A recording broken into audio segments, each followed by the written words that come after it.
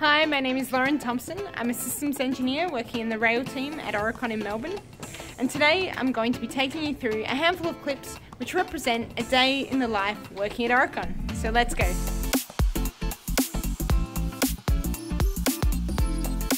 So I always start my day off with some porridge. So I've just arrived at work um, and I'm just about to take my bike into the bike room and start the day.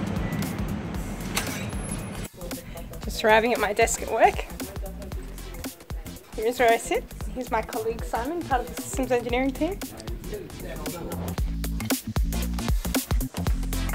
We just had our first rail team meeting for the year um, and I got to share some Limelight updates and also some systems engineering digital tool developments on one of our projects we're currently working on.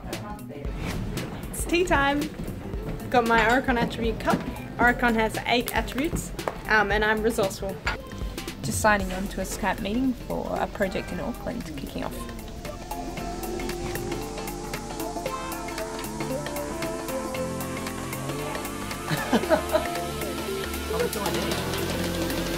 I've got a mentor meeting now with Declan Ellis. Hey Declan! Hey Lauren, how you going? So in my role at Aurecon, I'm most passionate about the diversity of my work.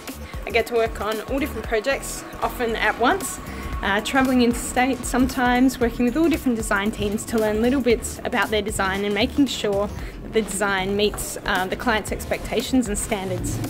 And in addition to that, um, Aurecon also supports us to be a part of other committees, so things like the Sustainability Committee, Limelight Committee, and really explore areas outside of our roles that we're interested in.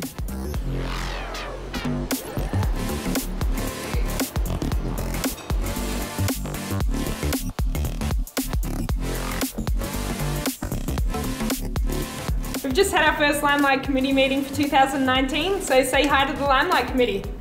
Hey!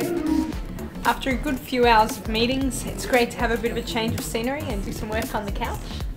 Right now I'm working on Inland Rail, um, in which I'm doing requirements management for five of the packages. I'm at Engineers Australia tonight, attending an industry event.